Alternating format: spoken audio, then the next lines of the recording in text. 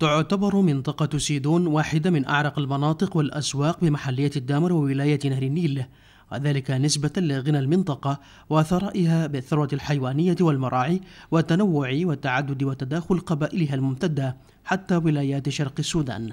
نحن في هذه المدينة المعروفة على ضفتي نهر عطبرة وهي يمكن في الجزء الشرقي لولاية نهر النيل. ونحن الآن في سوقها العريق الذي يعني أسس منذ العام 1938 وهو منذ هذا التاريخ يعمل عملا دؤوبا في كل المجالات الاقتصادية.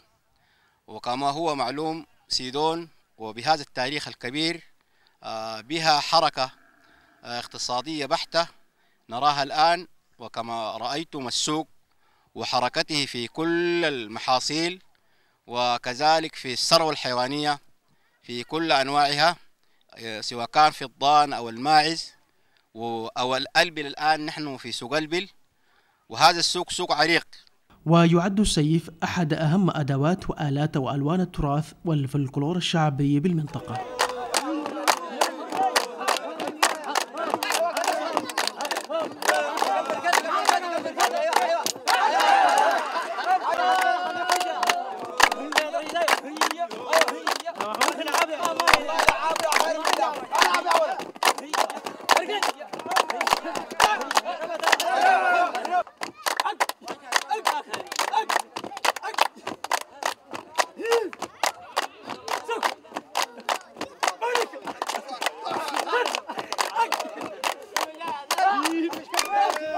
والسيف بسيدون فضلا عن كونه سلاحا ماضيا وحاسما في النائبات يمثل أداة من أدوات الحكم والسلطان والولاية والصولجان. السيف يعد لون من ألوان ثقافتنا المادية وهو من أهم الأدوات التراثية عندنا في السودان. فالسيف عندنا من أدوات الحكم والولاية استعملوا الملوك واستعملوه الأولياء والمتصوفة. ومن هنا بنلقى للسيف البعد التراثي الفاعل. ولا زال القبائل في السودان تتمسك بهذا السيف. فالسيف يعد من عند الملوك من أدوات الابهه والغوة وإشارة للنصر وعند المتصوفة إشارة للجهاد وذلك اقتداء بسيرة الرسول صلى الله عليه وسلم. وظلت منطقة سيدون ملتقا تاريخيا وجغرافيا ومركزا تجاريا واقتصاديا رائجا لمختلف قبائل شرق السودان بغض النظر عن الحدود التي تفصل الولايات. لذا فإن تاريخ دخول السيف لسيدون ارتبط بتاريخ وجود هذه القبائل منذ القدم حسب وجهة نظر البعض. هذا السيف الموجود والمعروف لدينا يمكن تاريخه تاريخ قديم. منذ يمكن يعني قيام الثورة المهدية. منذ قيام هذه الثورة الثورة المهدية في هذه المنطقة السيف كان له أثر نفسي في نفوس كل مواطني هذه المنطقة. للعلم لا بد أن يكون هذا السيف موجود في أي بيت من بيوت هذه المنطقة. ليه؟ لأنه نحن نحسبه يعني سلاح سلاحنا الوحيد اللي بنعتمد عليه عليه في حياتنا هو السيف. لأنه آبائنا وأجدادنا يعني بهذا السيف يعني شاركوا في فتح الخرطوم ودحر المستعمر بهذا السيف. آه السيف الآن آه نحن بنتعامل به في كل المواقع. أي إنسان إذا كان ده يتحرك للخلا طوالي بيحمل هذا السيف ويكون مأمن نفسه بهذا السيف لكل المخاطر اللي بتجي في الخلا.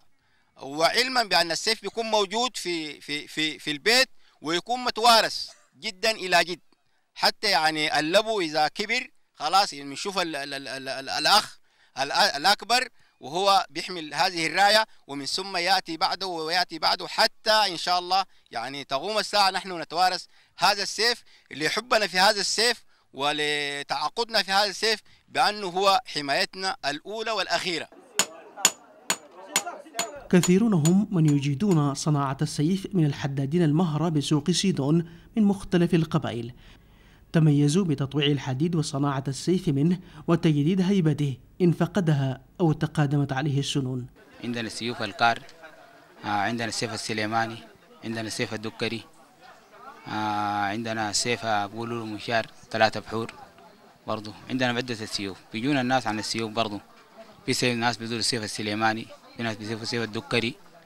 آه في بدوروا السيف سيف المحنوب ده حق الرشايدة ده برضو كلنا نستعمل السيوف. عندنا عدة من السيوف برضو نشتغل هناك شغلتنا السيوف طبعا. بنصنع بنجيب الريش زي نظام الريشة دي بنشق الريشة بنديها النار. نشقها على الاثنين. بنقطع منها سيف. ندق السيف نفصله باللجنة. ندوه النار. ولا تقتصر صناعة السيف بسيدون وحدادته على مهارة التطبيع والطرق والصقل بالنار بل هناك فنون النقش عليه وهي ما تميز كل سيف عن الآخر حسب نوعه ومسماه. السيف عندنا في في السودان أنواع أربع أنواع. عندنا السيف الدكري والكتري والكار والسيف السليماني. وهذه السيوف تعرف بالبحر اللي فيها البحر هو اللي بحدد نوع السيف. إذا مسكنا السيف العربي أو السليماني بنلقاه أربعة بحور وإذا مسكنا الكار بنلقى بحر وارد. وإذا مسكنا الدكري بنلقاهم بحرين واردات. من هنا بنلقى في السيوف اعتقادا وحرزا الناس استعملوا النقوش. بنلقى النقش على السيف. آه من من النقوش اللي اللي بنلقاها في السيف آه نقش. اسم الجلالة وخاتم النبي سليمان وهذا حرز. وبرضه بنلقى بعض النقوش اللي بتوري قوة السيف كالأسد والعقرب و والنقارة. وتحتاج صناعة السيوف لقدرة عالية عند من يمتهنون صناعة حدادته فهو يختلف عن بقية أدوات التراث الأخرى كالفأس والسكين وغيرها. بل إن هناك في الجانب الآخر من سوق سيدون من اكتسبوا مهارة وفن وتصميم جفيره من جلد الماعز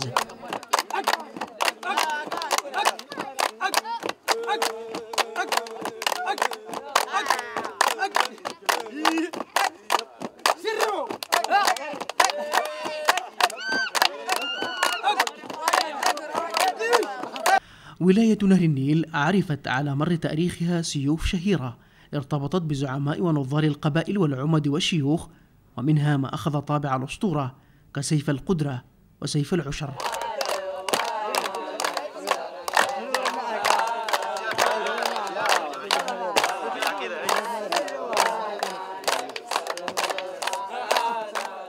لكل ذلك فإنه من الطبيعي أن يظل السيف موجودا وحاضرا في أدبيات التراث الشعبي بالسودان وولاية نهر النيل. هذا هو اللي عزل المسلم على الكافر وهذا سيف نعتز به. لا حد تقوم القيامة.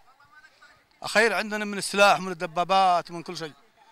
وهذا نحن رشايدة قبل رشايدة هنا في المنطقة هذه. عندنا القبائل البشارية والكملاب والنفيداب والعبابدة إحنا الحمد لله قبائل مسالمين هنا. قبائل يعني مرضع بيناتنا حالنا نحمد الله. يعني إخوان في, في الله نحمد الله ونشكره. ورغم تقادم السنوات وتعاقب الأزمان إلا أن السيف لا زال موجودا وحاضرا بقوة في حياة أهل المنطقة بقبائلها متوارثا لدى الأجداد والآباء والأبناء. عصام الحكيم الشروق ولاية نهر النيل.